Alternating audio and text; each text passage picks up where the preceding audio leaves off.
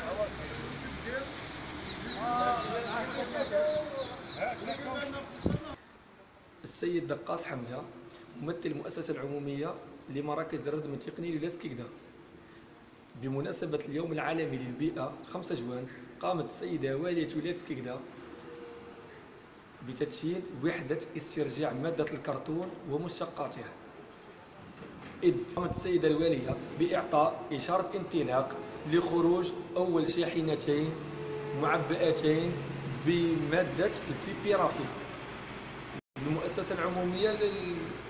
لمراكز الردم التقني إذ تهدف المؤسسة من هذه الوحدة بخلق مناصب شغل. فائدة المؤسسة والقضاء على النقاط السوداء الخاصة بمادة الكرتون ومشتقاتها على على مستوى مختلف البلديات. و المساهمة مساهمة المؤسسة في نظافة وجمالية المحيط البيئي. ليصلكم كل جديد. اشتركوا في قناة الخبر على اليوتيوب. ولا تنسوا تفعيل الجرس.